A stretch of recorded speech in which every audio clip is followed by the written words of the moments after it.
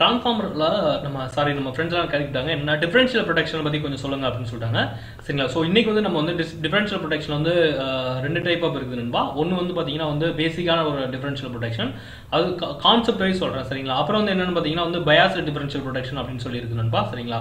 So இப்போ வந்து நம்ம என்ன பார்க்க போறோம்னா வந்து பேசிக் மட்டும் பார்க்க போறோம் நாளைக்கு அடுத்த வீடியோ நான் வந்து பயாஸ் ப்ரொடெக்ஷன் டிஃபரன்ஷியல் ப்ரொடெக்ஷன் என்ன அப்படின்றத பத்தி நம்ம பார்க்கலாம் நண்பா. சரிங்களா? சரி வாங்க. அதுக்கு முன்னாடி புதுசாக வியூவர்ஸ் வந்து அந்த சேனலை சப்ஸ்கிரைப் பண்ணிக்கோங்க நண்பா சரிங்களா? ஸோ இந்த மாதிரி வந்து உங்களுக்கு டெக்னிக்கலான வீடியோ தமிழில் மட்டும்தான் வரும் சரிங்களா?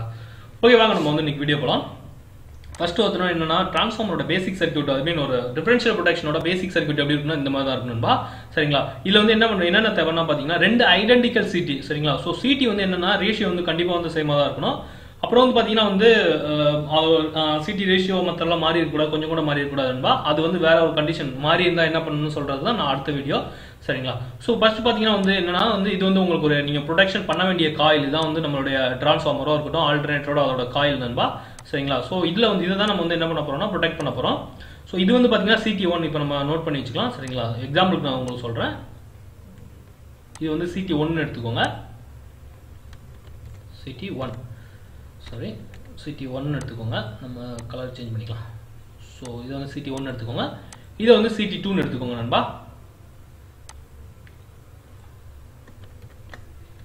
ஃபர்ஸ்ட் பேசிக்கா வந்து டிஃபரன்ஷியல் ப்ரொடக்ஷன் அப்படின்னா என்னன்னா ரெண்டு கரண்ட்டை வந்து அது என்ன பண்ணுது? டிஃபரன்ஷியல் பண்ணுது. ஆக்சுவலி என்னன்னா ரெண்டு கரண்ட்டை வந்து அது வந்து ரெ- ரெண்டுக்கும் உள்ள வித்தியாசத்தை வந்து என்ன பண்ணுது? வித்தியாசம் ஏதாவது வந்துச்சு அப்படின்னா வந்து அது போய் என்ன பண்ணுது? ரிலே வந்து ஆப்ரேட் பண்ணுது நண்பா. ஸோ அதான் வந்து டிஃபரன்ஷியல் ரிலே அப்படின்னு சொல்றது தமிழ்ல எப்படி சொல்லணும் இந்த மாதிரி தான் சொல்ல முடியும் நண்பா. சரிங்களா?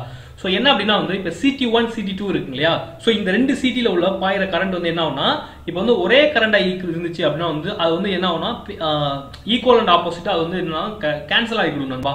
ஸோ பார்த்தீங்கன்னா வந்து இப்போ நமக்கு என்னது இப்போ ஒரே மாதிரி கர இப்போ ஒரே மாதிரி ரெண்டு இருந்துச்சு அப்படின்னா வந்து அது வந்து ஈச்சா வந்து கேன்சல் ஆகிக்கணும்ல அந்த மாதிரி தான் சரிங்களா? ஸோ இப்போ எக்ஸாம்பிள் எடுத்துக்கிட்டீங்கன்னு வச்சுக்கோங்களேன். இப்போ வந்து கரண்ட் வந்து என்ன போகுது அப்படின்னா வந்து இப்போ நம்ம எடுத்துக்கலாம். கரண்ட் வந்து இந்த டைரக்ஷனில் போய்கிட்டு இருக்கு. சரிங்களா? இந்த டைரக்ஷனில் நமக்கு வந்து கரண்ட் போய்கிட்டு இருக்கு. ஸோ இந்த டைரக்ஷன் போகிறதுனால கரண்ட் என்ன ஆகும் அப்படின்னா வந்து எந்த டைரக்ஷனில் போதோ அந்த டைரக்ஷனில் வந்து கரண்ட் வந்து ஜென்ரேட் ஆகும். ஸோ எக்ஸாம்பிள் பார்த்தீங்கன்னா அப்படின்னா வந்து இந்த இதில் வந்து கரண்ட் ஃப்ளோ வருதுன்னு வச்சுக்கோங்க. இது வந்து உங்களுக்கு அசிம்ஷன் தான். ஆனால் ஒரிஜினலாக வந்து வேறு மாதிரி வரும். சரிங்களா? ஸோ இந்த இதில் இப்படி வந்து கரண்ட் ஃப்ளோ ஆகுதுன்னுபா சரிங்களா? ஸோ இது வந்து இது வழியாக வந்துட்டு இதை வந்து ரீச் ஆகுது இப்படி தான் ரீச் ஆகுது. ஓகே எப்படினாலும் எடுத்துக்கலாம் நண்பா. ஏன்னா நீங்கள் இப்படியும் எடுத்துக்கலாம் இப்படியும் எடுத்துக்கலாம். ஜஸ்ட் உங்களுக்கு சொல்லிக் கொடுக்கக்காண்டி எடுத்துக்கிறேன் சரிங்க அப்புறம் வந்து என்னென்னா இதில் வந்து வெளியே வந்துடுது நண்பா. சாரி நம்ம கொஞ்சம் ட்ராயிங்கில் வீக் தான். இதில் வந்துட்டு அப்புறம் வந்து பார்த்தீங்கன்னா இந்த வந்து உள்ள வந்து இந்த மாதிரி தான் சர்க்குலேஷன் இருக்குன்பா சர்க்குலேஷன் இந்த மாதிரி இருக்குது சரிங்களா? இதில் வந்து என்ன அப்படின்னா வந்து இதில் வர்ற கரண்ட்டை என்ன பண்ணுங்க? இப்படி இருக்குன்னு வச்சுக்கோங்க. இதில் உள்ள கரண்ட் என்ன பண்ணுங்க? ஐ ஒன் அப்படின்னு எடுத்துக்கோங்க நண்பா. ஐ ஒன் எடுத்துக்கோங்க. இதை வந்து என்ன பண்ணுங்க? இதில் வர கரண்ட்டை ஐ டூன்னு எடுத்துக்கோங்க. என்ன அப்படின்னா வந்து இப்போ ஐ ஒன்னும் ஐ டூ ஈக்குவலா இருந்துச்சு அப்படின்னா வந்து இந்த காயில் வழியா கரண்ட் போகாது நண்பா. இது வந்து என்ன அப்படின்னா வந்து இந்த இது வந்து இது ஒரு ஒரு ரிலே காயில் நம்ம பிக்கப் காயில்னு சொல்லிக்கலாம். அது வந்து இதில் இதுல வந்து செட்டிங்ஸ் பண்ணியிருப்பாங்க. இந்த செட்டிங்ஸ்க்கு ஏற்ற மாதிரி தான் வந்து இதுல வந்து இந்த ஐ ஒன் ஐ டூக்கு வந்து டிஃபரன்ஸ் ஏதாவது இருந்துச்சு அப்படின்னா வந்து இந்த க வந்து ரிலே வந்து பிக்கப் ஆயிரும். டிஃபரன்ஸ் வந்து நாம செட் பண்ற வேல்யூவோட விட அதிகமாக வந்தால் தான் வந்து ஆப்ரேட் ஆகும் ஸோ அதுக்கு மேலே வந்து ஆப்ரேட் ஆகாது. ஸோ இப்போ ரிலே எப்படி ஆப்ரேட் ஆகுதுன்ற சொல்கிறேன் உங்களுக்கு. இப்போ வந்து இதில் போகிற கரண்ட் வந்து ஐ த்ரீன்னு எடுத்துக்கோங்க நண்பா. ஸோ இதில் வந்து போகிற கரண்ட் வந்து ஐ ஐ த்ரீன்னு எடுத்துக்கோங்க. இப்போ நார்மல் கண்டிஷனில் வந்து இப்போ நம்ம வந்து கிர்ச்சாப் கரண்ட்டில் அப்ளை பண்ணுங்க. அதாவது என்னன்னா summing point of the all current equal to zero ஓகேங்களா ஸோ இதை வந்து நம்ம வந்து ஐ த்ரீ நம்ம எடுத்துக்கிறோம். எடுத்துக்கிறோம் ஃபர்ஸ்ட்டு இந்த இதில் இந்த காயில் போகிற கரண்ட் வந்து நம்ம ஐ த்ரீன்னு எடுத்துக்கலாம் நண்பா. ஐ த்ரீன்னு எடுத்துக்கோங்க. இப்போ வந்து பார்த்தீங்கன்னா இப்போ நமக்கு தேவையானது ஐ த்ரீ தான். ஐ த்ரீல எப்போ கரண்ட் போதோ அப்போ தான் வந்து உங்களுக்கு வந்து என்ன நமக்கு அஹ், ரிலே வந்து ஆப்ரேட் ஆகும். ஸோ ஐ த்ரீல போகிற கரண்ட் வந்து நம்ம கண்டுபிடிக்கலாம். Summing point of the all current வந்து ஈக்குவல் டு ஜீரோ தான். இப்போ இந்த டேரக்ஷன் நம்ம மார்க் பண்ணல. இப்போ ஜீரோ ஈக்குவல் டுங்களா சரிங்களா இப்போ உள்ள வர கரண்ட் என்னென்னலாம் உள்ள வருது? ஐ ஒன் மட்டும்தான் வருது. I one minus I two minus I three இதான் வந்து அஹ், நம்ம கரண்ட் கரண்ட்ல நண்பா சரிங்களா? இப்போ நமக்கு தேவையானது என்ன ஐ த்ரீ தான். ஐ த்ரீ அந்த பக்கம் கொண்டு போங்க. I three equal to I one minus I two சரிங்களா? ஸோ இப்போ வந்து இந்த இப்போ ஐ ஒன்னும் ஐ டூ இங்கே வந்து பாருங்க. இப்போ I one equal to I டூவாக இருந்துச்சு இதான் நார்மல் கண்டிஷனில் I one equal to I two அப்படின்னா இருந்துச்சுன்னா என்ன அப்படின்னா வந்து அப்போ ஐ த்ரீ வந்து என்ன வரும் நமக்கு? I three equal to zero so நார்மலான ஆப்ரேஷன் கண்டிஷனில் என்னன்னா வந்து உங்களுக்கு வந்து இந்த க- இந்த க- இந்த காயிலில் போகிற கரண்ட் வந்து நமக்கு எப்பயுமே ஜீரோவாக தான் இருக்கணும்பா சரிங்களா? ஸோ இப்போ வந்து சப்போஸ் அப்நார்மல் கண்டிஷன் வச்சுக்கோங்களேன். என்ன வந்து இப்போ வந்து ஒரு இடத்துல வந்து ஃபால்ட் ஆகுது. இப்போ எக்ஸாம்பிள் எடுத்துக்கோங்களேன். இப்போ வந்து இந்த இடத்துல வந்து ஒரு ஃபால்ட் ஆச்சு நண்பா. ஸோ இந்த லைனில் வந்து ஒரு ஃபால்ட் ஆயிடுச்சு. ஸோ என்ன அப்படின்னா வந்து இந்த ஐ ஒன்னும் ஐ டூவும் ஈக்குவல் இருக்காது. So I one not equal to when the fault occurs ஓகேங்களா அது நண்பா.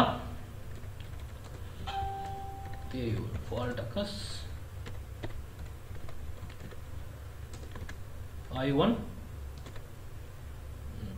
not equal to I two சரிங்களா? I one not equal to I two நண்பா.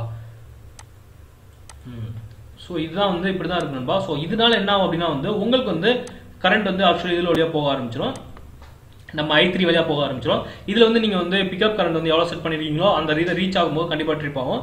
பிக்கப் கரண்ட்னா ஒன்றும் கிடையாது. நம்ம பண்ணுற செட்டிங் தான் வந்து வந்து இப்போ பிக்கப் கரண்ட் சொல்லிக்கலாம். எந்த எந்த அளவுக்கு அந்த ரிலே ஆப்ரேட் பண்ணுறதுக்கு நம்ம வந்து செட்டிங்ஸ் பண்ணுறோமோ அதை தான் வந்து பிக்கப் கரண்ட்னு சொல்லுவாங்க நண்பா. ஸோ அதுக்காக போட்டு குழப்பிக்கிறாங்க ஸோ எப்போ வந்து இந்த பார்த்துக்கோங்க I one equal to I two அதாவது இன்கமிங் அந்த இதில் போகிற கரண்ட் வந்து ரெண்டு ஈக்குவலாக இருந்துச்சு அப்படின்னா வந்து உங்களுக்கு வந்து ரிலே ஆப்ரேட் ஆகாது நண்பா. ஸோ கொஞ்சம் வந்து இதெல்லாம் கொஞ்சம் டிஃபரன்ஸ் ஆச்சு அப்படின்னா வந்து uh, ட்ரிப் ஆயிரும். சப்போஸ் டிஃபரன்ஷியல் ஆப்ரேட் ஆகும் என்னென்ன சர்க்கியூட்ஸ்லாம் பிரேக்கர்ஸ்லாம் ஓப்பன் ஆகும்னு பார்த்துக்கோங்க அது வந்து டிஃபரன்ஷியல் வந்து ரொம்ப சென்சிட்டிவான ரிலே நண்பா. டிஃபரன்ஷியல் ரிலே ஆப்ரேட் ஆயிடுச்சுன்னா உங்களுக்கு வந்து இன்டர்டர்ன் ஷார்ட் ஆனால் மட்டும்தான் வந்து இன்டர்நெட் இன்டர்டர்ன் ஷார்ட் இல்லை இன்டர்னலில் ஃபால்ட் ஏதாவது ஆனால் மட்டும்தான் வந்து என்னன்னா வந்து உங்களுடைய வந்து ரிலே வந்து டிஃபரன்ஷியல் ரிலே ஆப்ரேட் ஆகும். ஸோ அதனால் டிஃபரன்ஷியல் எப்போ ஆப்ரேட் ஆனாலும் நீங்கள் வந்து ரொம்ப கேர் எடுத்துக்கணும் நண்பா. அப்படியே ஏனதோன்னு சொல்லிட்டு ஆப்ரேட் பண்ணிடவே கூடாது. சரிங்களா? இதை மட்டும் ஞாபகத்தில் வச்சுக்கோங்க. சப்போஸ் இப்போ எக்ஸாம்பிள் பார்த்துட்டீங்கன்னு வச்சுக்கோங்களேன். இப்போ பவர் டிரான்ஸ்ஃபார்மரில் வந்து ஒரு இடத்துல சீட் இருக்கும். செகண்ட் இடத்துல செகண்டரி சீட் வந்து எங்கே இருக்குன்னா உங்களுக்கு பேனலில் இருக்கும். ஸோ அந்த டிஃபரன்ஸில் கூட அந்த மாதிரி கூட ஃபால்ட் ஆகும். ஸோ அப்பயும் நீங்கள் வந்து எப்பயுமே வந்து கிளியராக செக் பண்ணாமல் எதுவுமே வந்து சர்க்கியூட் பிரேக்கர் ஆன் பண்ணாங்கன்பா சரிங்களா? சரின்பா இதான் வந்து பேசிக் கான்செப்ட் அதாவது ஐ நம்ம சின்ன ஒரு கிச்சா கரண்ட்லாம் வச்சு ஆப்ரேட் ஆகுதான் வந்து அந்த டிஃபரன்ஷியல் ரிலே நண்பா. சரிங்களா? ஸோ அப்புறம் வந்து பார்த்தீங்கன்னா வந்து நாளைக்கு வந்து என்ன பார்க்கலாம் அப்படின்னா வந்து பயாஸ் டிஃபரன்ஷியல் ரிலேனா என்ன பார்க்கலாம் நண்பா? சரிங்களா?